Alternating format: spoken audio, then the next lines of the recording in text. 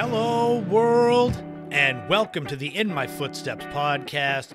I am Christopher Setterlund, coming to you from the vacation destination known as Cape Cod, Massachusetts, and this is episode 143. So, what are we going to talk about this week?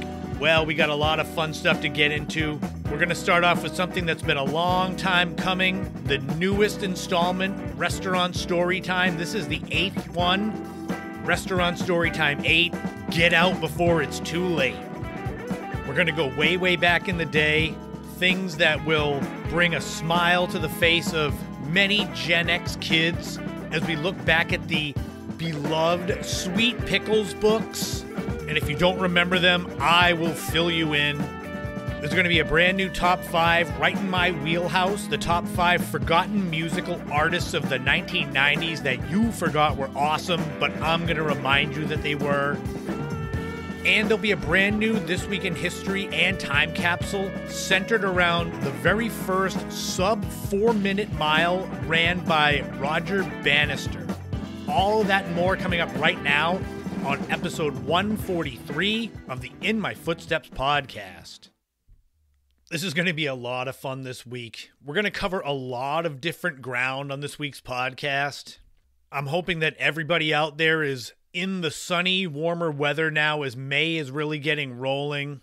I feel like we're kind of out of the woods as far as cold temperatures go, but I know as recently as the end of April, we were having mornings on Cape Cod that were right around freezing. I was kind of like, aren't we done with this yet? Like, you wouldn't know it was May based on the weather thank you all for coming aboard and spending about an hour hanging out with me this week. I appreciate everyone that tunes in, even if it's every now and then, or those that are making this appointment listening. I mean, 143 episodes, that's a lot. I either must really enjoy making these and sharing them with you, or I'm just too stubborn. Special thank you to my Patreon subscribers. Leo, Laurie, Mary Lou, and Ashley.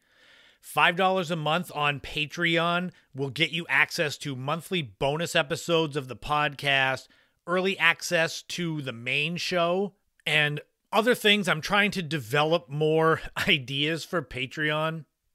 One potential idea is some sort of newsletter just based around the podcast, almost like fleshing out a little more of what I talk about each week the video podcast idea it's kind of on ice right now because what I've realized is I need to basically buy a new camcorder just to do this.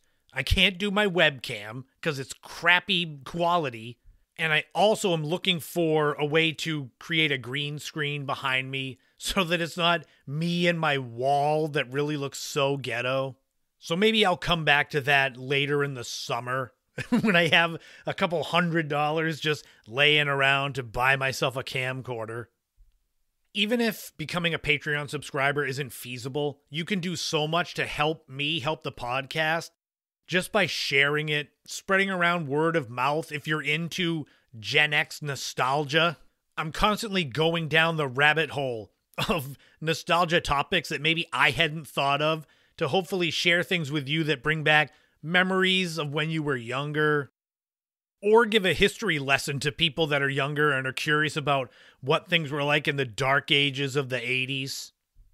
But without further ado, let's get into a segment that has been 143 episodes in the making from the dawning of the podcast. Restaurant Storytime 8 Get Out Before It's Too Late. We're going to dive into what that means right now when I say that this segment here is 143 episodes in the making, I'm not kidding. I began this podcast in November of 2020. I started brainstorming the idea the week after I gave up alcohol in the middle of September of 2020. At the time that I gave up alcohol, at the time I started this podcast, I was working in a retirement home for those who might know me, for those that worked with me, I worked at two retirement homes back to back.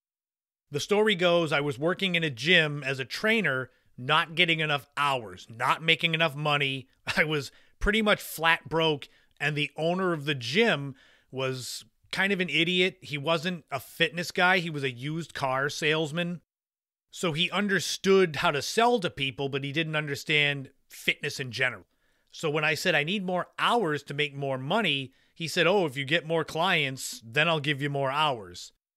So it was a kind of self fulfilling prophecy that I didn't get more clients with few hours. And so I needed a different job. So I ended up leaving there.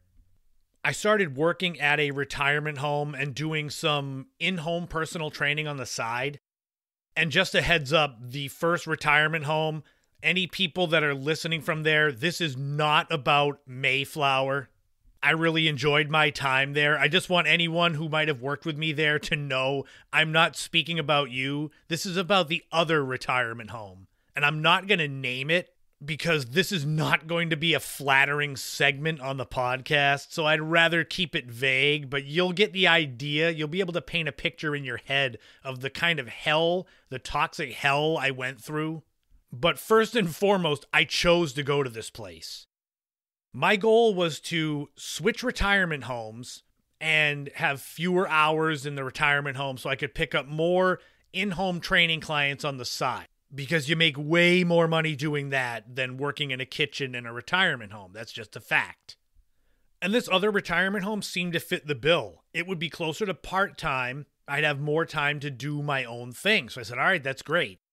One of the people I worked with at the current retirement home I was at at the time, Mayflower, actually pulled me aside and said, You might not want to go to this other place. It's not what you think but my mind was made up and I'm kind of stubborn. I'd rather go and fail than sometimes than listen to reason. So I left Mayflower and I went to this other place. This was snake bitten from the start because honestly, within two weeks, maybe two weeks of starting there, COVID shut down the world. So what that meant was I couldn't go train people in home. That was all wiped out. Now, kind of lucky for me in a backhanded compliment kind of way, I was seen as an essential worker. So I went from part time at this other retirement home now to full time. So immediately things had changed. What this did was give me more time there to see all of the things that I couldn't believe actually really were happening in this kitchen the very first thing that kind of sets the tone for this whole segment is the fact that within a week of COVID shutting things down, one of the other cooks there had a close encounter, a close exposure to COVID. But this guy decided not to tell anybody for a few days. So he was working with us many times unmasked after knowing he was in close contact with someone who had COVID and this is at the peak of COVID when it was killing thousands of people a day. This guy decided, no, I'm not going to tell anyone. Word came out over the weekend and he got fired, thankfully, because you would think lying about possibly contracting a deadly disease, a contagious disease, would require you to get fired. Oh, but don't worry about this guy because after I left this place, they hired him back. I guess it's no big deal that he lied to them and put lives of senior citizens in danger. When I say this was the most toxic work environment I've ever been a part of, I'm not kidding. I'm not saying that to be overly dramatic. There was a very cliquish vibe there from the start the chef, the sous chef, and one other cook were this little group. I found that out the hard way within my first week or two of being there. When the chef finally decided to get off his ass and come out of his office and do something to actually make lunch for he and the sous chef and the other cook that they called their little buddy didn't offer anything to anyone else despite there being three or four other people working in that kitchen. Nah, the hell with them. I'm going to make stuff for my little buddy and the sous chef. And I got pissed off and I called them out on it, and they seemed to be shocked that I actually would say something. Despite me being the newest guy as far as seniority went there, a lot of these other people in that kitchen would confide in me how much they hated the chef, how much they hated the sous chef, how they didn't deserve their jobs, how they were only there because the people that owned the retirement home, the chef and sous chef would kiss their ass, so they enjoyed that. It's funny, this segment is already starting to get ranty, and it's been over three years since I left this place. There's a reason why I waited for the storm to calm down because I was way more animated when I left this place. The kitchen was usually unclean. The flat top, it was caked with black kind of ash in the corners. Like they would clean it, but not clean the whole thing. And anytime I would try to do the whole thing, scrub it, it was basically I was told, ah, you know, that's just how it is. There was a dishwasher, the main night dishwasher, that was one of the most dirty, disgusting people that I've ever seen work in any restaurant I've been a part of. It wasn't so much the fact that he didn't know how to wash dishes. He would pick up and put the mats from the floor covered in sand in the dishwasher, which would then clog the dishwasher. It wasn't so much that he would wear the same clothes every day, you could see stains all over them. He would talk and say things that you just wanted him to leave you alone, like you thought he would try to trap you in his van and skin you alive. My biggest thing with this guy was the fact that he came in at least once, probably more than once, with open bloody wounds on his arms, and he would put little band aids on them. So he's working around silverware and plates that would go to senior citizens, some of them at risk, immunocompromised. And he's handling them with hands that aren't clean, that with arms that have bloody sores and wounds on them. I got hired a few weeks after another cook, and he and I kind of bonded because we were new to this insanity. It's like some people that were there didn't see this craziness there, like they were a part of the machine now, like the Stockholm syndrome. So he and I would talk about the things we were seeing, like what in the world is going on here? There would be food frozen for at least six months, sometimes over a year, in the freezer that would be taken out and used for residents. And I would look at the chef and be like, You're really going to unfreeze meatloaf that's been around for six to eight months and use for residents? But this jackass insisted it was fine. There's no way. I would say three months at most, even if it's considered safe at six months. No way. Would you want to eat that? Paying money to live in a retirement home, knowing that your dinner had been frozen for six months, eight months, a year? I learned that head chefs typically don't do much. They're more of like an administrator. They sit in their office and they just order things and sit around. But every now and then, this chef, he would have to come out and work the line at dinner. And we'd get not even busy, like just above slow. And he couldn't handle it. He'd be shaking. Like you would think he was on the front lines in a war. I'm like, dude, you're in a retirement home. You've got the cushiest job. There's three or four tickets on the board and you're shaking like you're about to be sent to the gallows. What is wrong with you? Go back in the office and sit there. And the sous chef was one of the most unsanitary, disgusting people I've ever worked with. Picking scallops and cleaning chicken with no gloves picking her nose or wiping her nose while doing things, not going to wash her hands first. But it just was what it was. This place was so insane and toxic. That was just normal. Some of the other cooks would complain, but nothing would get done because they wouldn't do anything. It was all just talk. The rest of us cooks in the kitchen did our best to keep this functioning because we had pride in our work. And if some of you out there are listening to all this ranting I'm doing and wondering why didn't I say something to the higher ups? Oh, I did. The first time ever at any job I've been at that I've had to go to the general manager and talk about the disgusting conditions and the incompetence of the people I worked with. But again, nothing got done. My complaints with specific details didn't matter. So, realizing that I was stuck there during COVID, it just caused me to drink more. This is where my alcohol issues kind of came to a head because that was the only way I could deal with this crap. It got worse when I stopped drinking. In September of 2020, when I stopped drinking and my head got clear, then I saw things even more. And I'm like, oh my God, I don't want to be here. It was just a never ending cycle.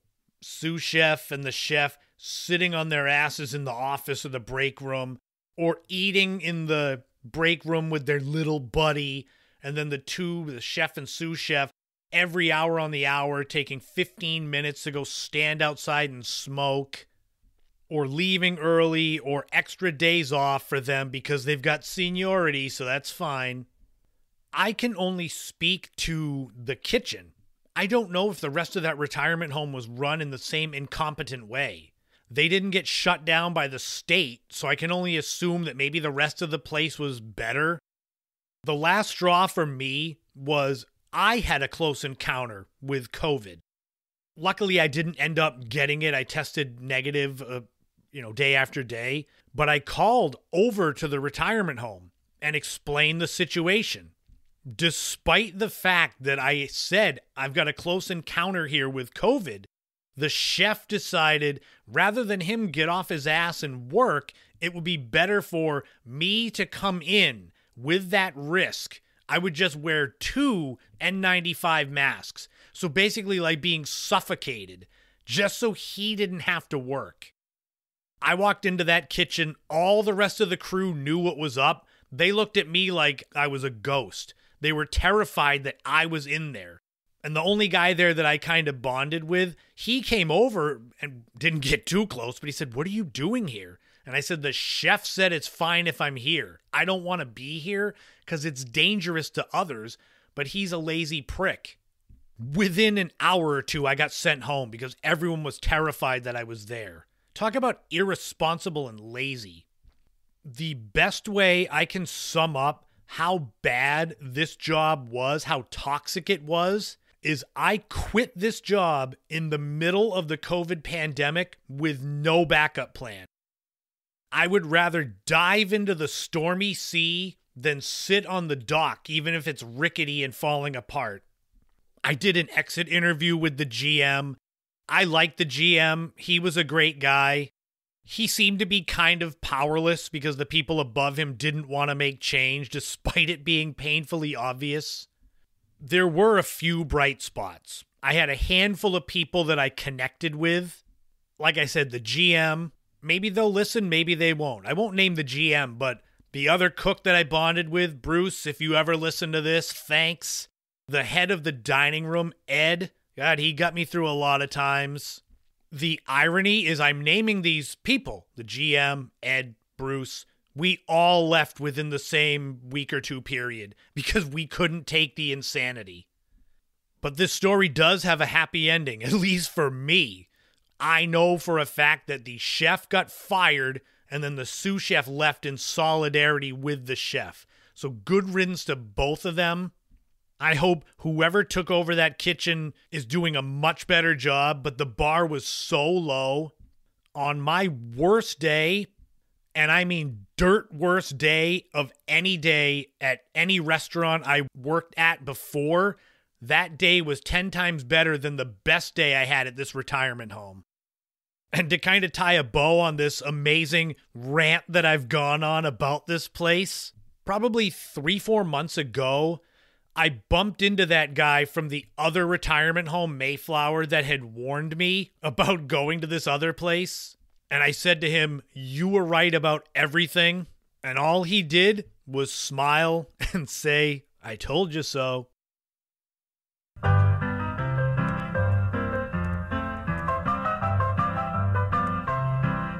This week in history, we are going back 70 years ago to May 6th, 1954 and young British medical student Roger Bannister shattering the four minute mile mark in running. How fast can you run a mile? Like if you were out there trying to just empty the tank and go as fast as you possibly could. 10 minutes, nine minutes, maybe some eight minutes, maybe some of you out there listening that are hardcore runners, sprinters, seven minutes, maybe six. When you start to put into context how fast a 3 minute and 59 second mile is, it's incredible. Roger Bannister's accomplishment, it rewrote the record books, it ignited a wave of inspiration. Maybe not to try to top a 4 minute mile, but just to top yourself. It's like if you watch the Rocky movies and you get inspired. You don't want to go boxing, but maybe you want to get out and do some kind of exercise. Or maybe that's just me. A sub four minute mile was considered the holy grail of middle distance running. The belief was that the human body just couldn't do that, it was impossible. Yet Roger Bannister did it 70 years ago on the track at Oxford Iffley Road track. It was a windy day, an overcast day, which probably helped. I know during my peak days as a runner, you'd almost prefer to run on a day that wasn't bright and hot and sunny. You want it cooler, 60 degrees, maybe clouds. On that day in 1954, Roger Bannister crossed the finish line in a time of 3 minutes 59.4 seconds it's incredible to think of for me as a runner, someone who enjoys running, you know, one of the crazy people.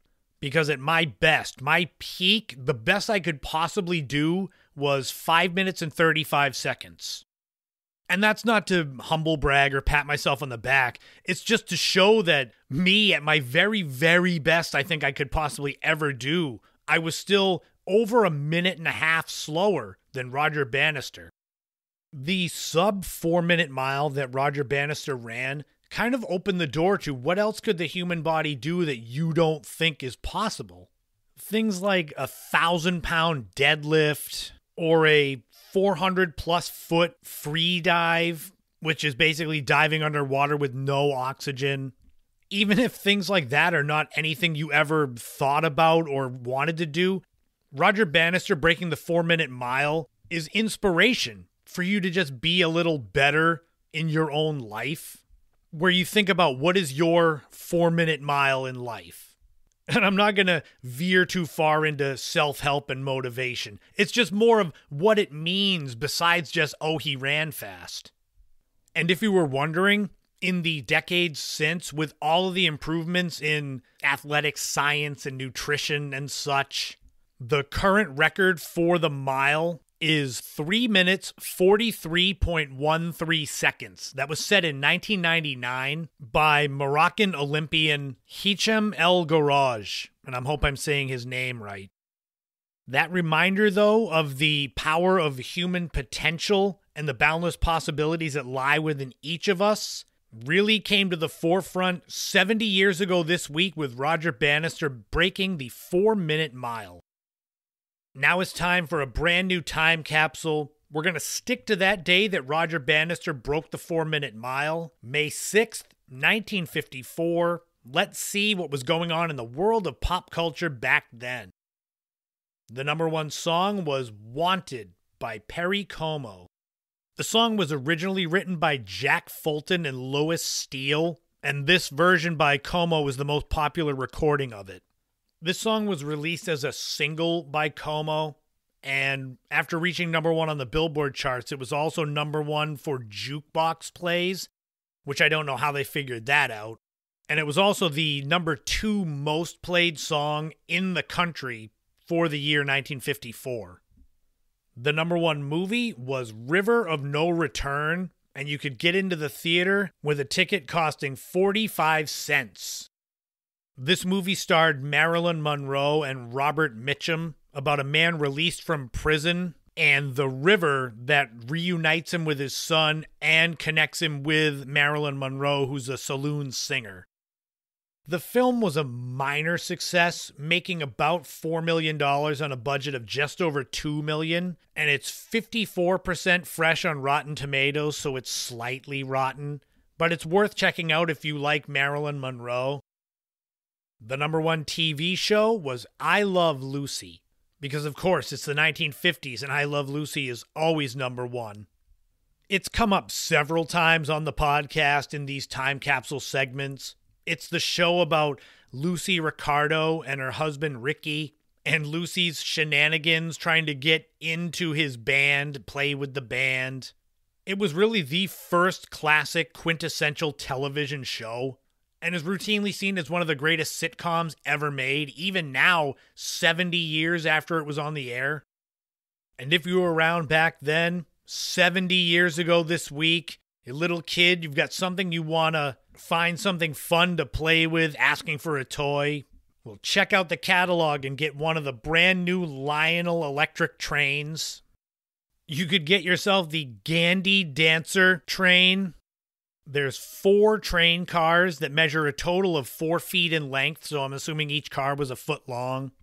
A 75 watt transformer to help this train go around the tracks. The track oval was about 54 inches long and about 27 inches across, which I'm assuming you could buy more track because that doesn't seem like very far for this train to go. But yes, electric model trains, boy, they were all the rage in the 50s. That'll wrap up another time capsule, another This Week in History. We're going from the 1950s all the way forward to the 1990s for this week's top five. So let's get into some of the forgotten musical artists that were awesome from the 1990s.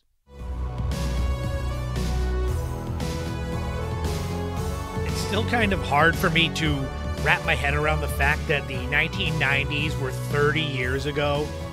Basically, kids today in the 2020s are talking about the 90s the way that people my age talked about the 1960s. And that just seems so hard to believe and we are now far enough removed from the 90s that we can look back at some of the forgotten musical acts, the ones that were great at the time but have kind of fallen through the cracks.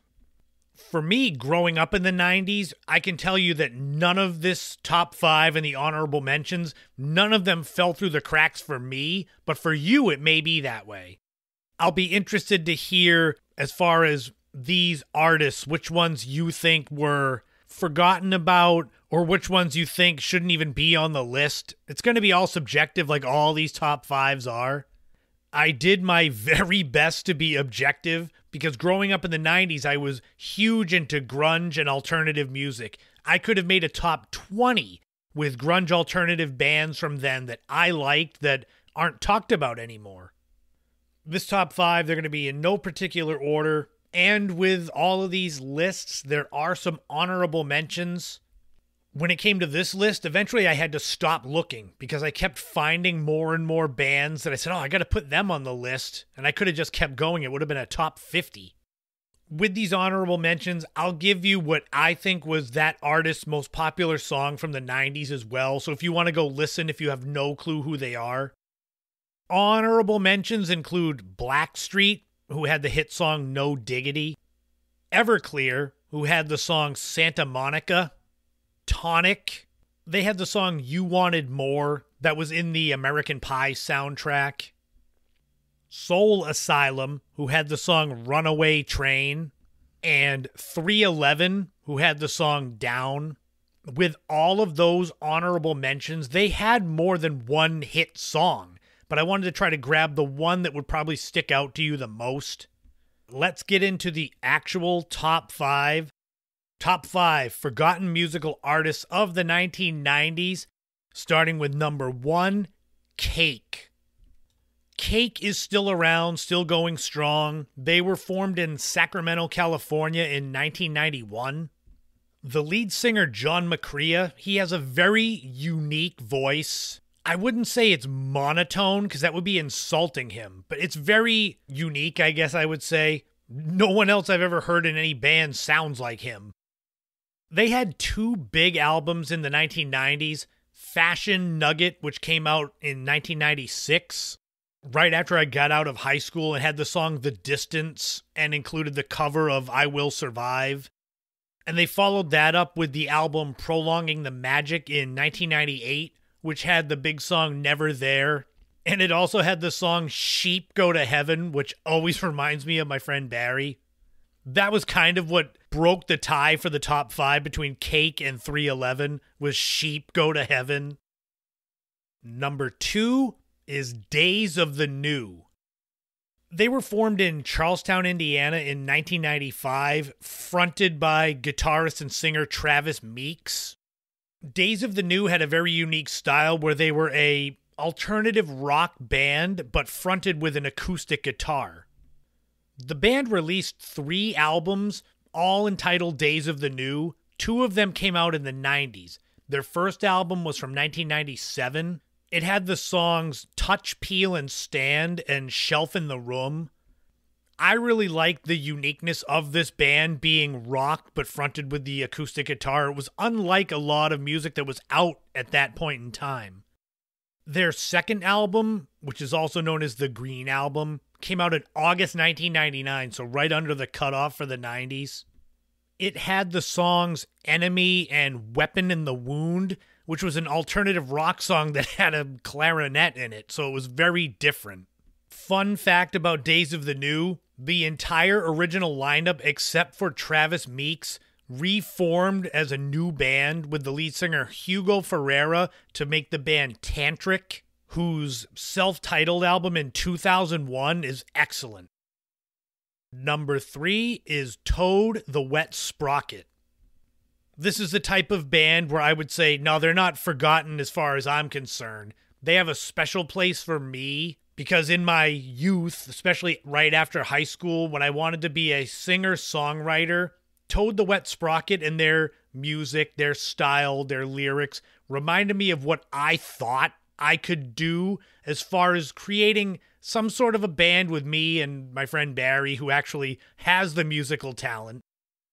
Toad the Wet Sprocket was formed in Santa Barbara, California, way back in 1986 their breakthrough came in their 1991 album Fear, which had the big hit song All I Want and Walk on the Ocean. They had a lot of great songs, but those were the ones that got played a lot.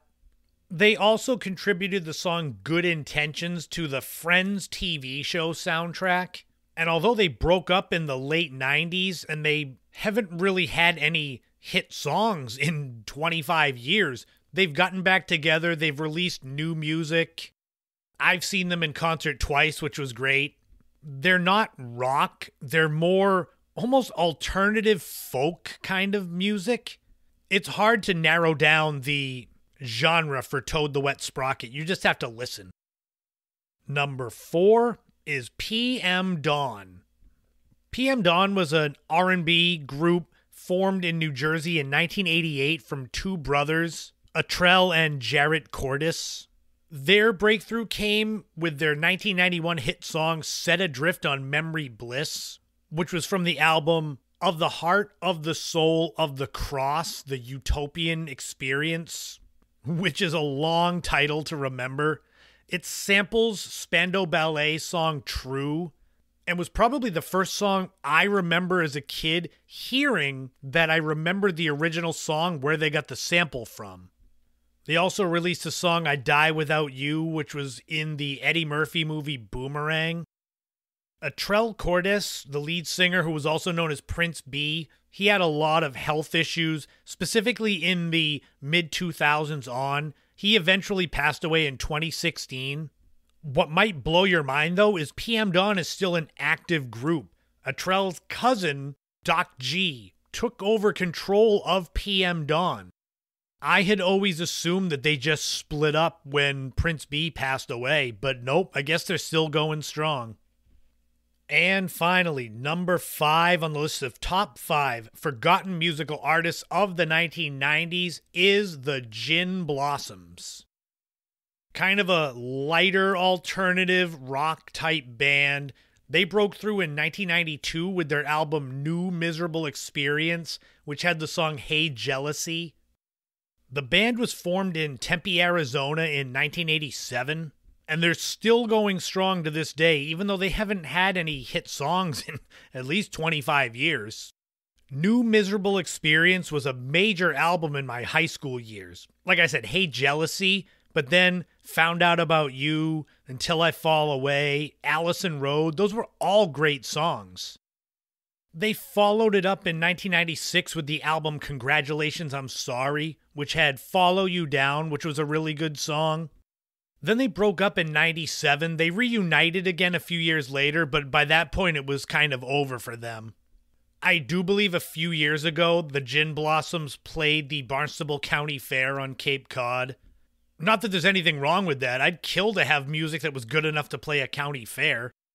Several years ago, the band Sister Hazel who had the hit song All for You in 1996, they played the county fair. And I flipped out, ran to the stage, and videoed while they were playing the song. Boy, my nieces looked at me with shame after that. But it's a great song. Leave me alone. That wraps up the top five, though. Do you remember these bands? Does that music ring a bell to you? I am still of the mindset that music in the 90s, music in the 80s, it had a different vibe. It had meaning, it had soul. Once auto tuning and an over reliance on electronic instruments came about, I just feel like everything sounds the same now. Or that could just be me getting old. Who knows?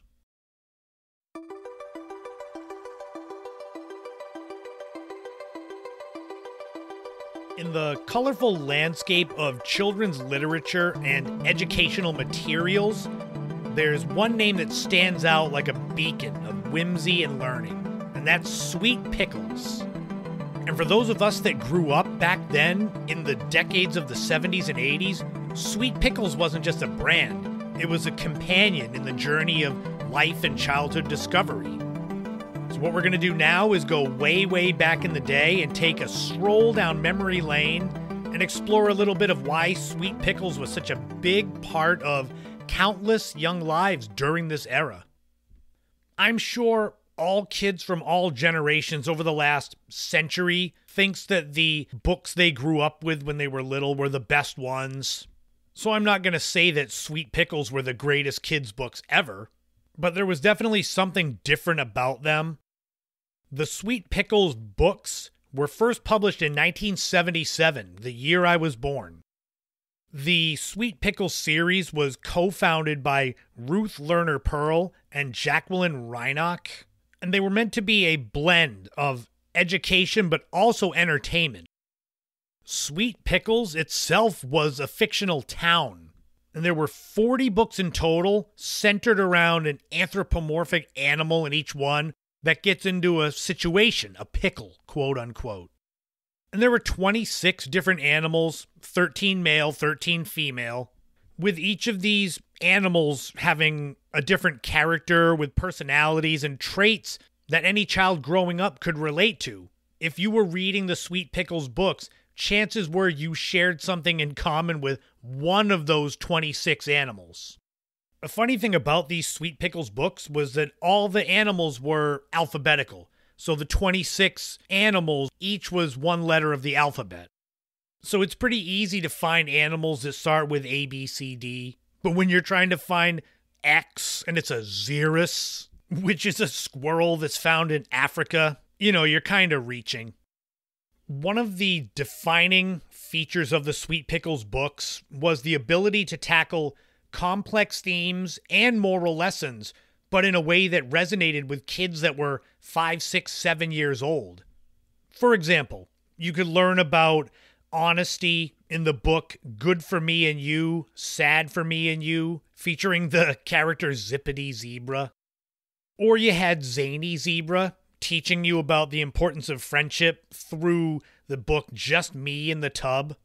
Of course, you can't have children's books without bright, colorful illustrations and having them live in Pickle Town, where Sweet Pickles is from. I've been trying for years and years to create some sort of characters to make a children's book series. And it's so difficult to come up with characters that will resonate with children, but also be interesting enough and have some sort of message to them, which makes me appreciate these Sweet Pickles books even more as an adult. To have 40 books, 26 different characters that all stand out, stand the test of time. Now, I've given you an overview of the Sweet Pickles books, but we who grew up in the 70s and 80s remember Sweet Pickles mostly through the commercials here comes the Sweet Pickles bus. Smart moms know how kids' minds grow upon Sweet Pickles. Your child's head start for school starts with this free Sweet Pickles preschool bus. There are stickers, games, puzzles, and hours of fun inside. There was that song right there. But in the commercial, these Sweet Pickles characters would be driving around in this big green bus or van and when it came to this van, you would get this package at home. You'd get a van, there would be cards in there for learning and games. So it became more than just books. Sweet Pickles transcended the realm of literature And they expanded into a wide array of merchandise. Like I said, the van, the plastic van or bus or whatever it was, plush toys, puzzles, board games. It was pretty ingenious because they didn't limit themselves to the books where the kids read the books and, oh, I wish there was more with Sweet Pickles. Oh no, there was way more. So the parents would have to go and buy stuffed animals and puzzles and board games and all that merch. I loved the commercials. I never got the Sweet Pickles van. I wanted that so bad. I probably could go grab it on eBay now just to have, be in my late 40s and reading Sweet Pickles. Sweet Pickles were everywhere in the 1980s. Some of the books were read on the Captain Kangaroo children's show. Eventually, the series sold more than 50 million books in total. The original books went out of print sometime in the mid to late 1990s, but in 2012, celebrating the 35th anniversary of Sweet Pickles, the books were re released as ebooks and you can get them online. When doing my research for this segment about Sweet Pickles, there was something else that popped up that I thought I would rope into this a little bit and that was the Weekly Reader magazine and books. Weekly Reader was a children's educational magazine that began way back in 1928 as My Weekly Reader. This magazine was huge through the rest of the 20th century. At its peak, which was in the probably 1950s, they had a circulation of over 6 million magazines weekly what began as a magazine for elementary school students eventually evolved to kindergarten as well, but then middle school, high school. I vaguely remember the Weekly Reader magazines when I was in elementary school. It was fun to have news geared towards you and your age because you didn't want to listen to the regular news or whatever your parents were into. Although Weekly Reader did do presidential elections where you could vote and they would send it into Weekly Reader. So there'd be a poll with whoever we as kids thought should be president. And actually, the kids in those elections got 13 out of 14 right during the 20th century. With the only one they got wrong, they chose George H.W. Bush over Bill Clinton in 1992. Weekly Reader also had their own series of books, not as many as Sweet Pickles, they only had 14. Weekly Reader was around until 2012 when they ceased existence as an independent publisher. They were bought by Scholastic, which the Scholastic publisher, their whole story, that'll be another segment for a back in the day sometime later. But even though Weekly Reader went out of business in 2012, they were already kind of fading as more kids were online. That's why I think people of my age, around my age, that started school in the 80s probably have some memories of the Weekly Reader magazine. I would assume that most schools had a subscription where they got several issues that would be either in the library where you could read it or maybe in classrooms. This was one of those things that, like I said, when I was researching the Sweet Pickles books, the Weekly Reader magazine and books kind of popped up, and I had forgotten all about them. So I thought, why not kind of pull them into this a little bit and give you a double dose of nostalgia? Circling it back, though, Sweet Pickles, it wasn't just a brand of children's books and merchandise, it was a cultural phenomenon, and it shaped the childhoods of us from that generation, late 70s, especially through the mid 80s those Sweet Pickles commercials were on my TV almost every day, either before school or on weekends. I wanted to be friends with all of those different animals Goof Off Goose, Moody Moose, Questioning Quail. How many of you out there read or had those Sweet Pickles books when they came out? Not now, like going back and collecting nostalgia on eBay, but back then, did you get your parents to buy it for you? And did any of you have that van with all the games inside of it? I'd be super jealous if you did. Sweet Pickles left an indelible mark in the hearts and minds of millions of us Gen X kids that grew up in the 70s and 80s. And same with the Weekly Reader magazine. It's just two more reasons why I always wax nostalgic about growing up back then. Call now and we'll send the Sweet Pickles bus to your door. Smart moms know how kids' minds grow. That'll wrap up episode 143 of the In My Footsteps podcast. Let's pop the top to celebrate. Little ASMR. It's an energy drink. Relax. I'm sure that's not too much better for any of you out there. I know my mom won't like that, that I've got the energy drink going, but we're finishing off the episode strong. Thank you so much for tuning in. This week was a lot of fun, a little bit ranty at times, but man, that's what make these so much fun to put together. Sometimes I don't know where I'm going to go with some of the stuff I say. I mean, I have notes to kind of keep me on track, but then I let it just be free flowing. If something comes to me, I throw it in there. Like the energy drink, that was kind of spur of the moment. And I just took a drink of the energy drink and it went down the wrong pipe.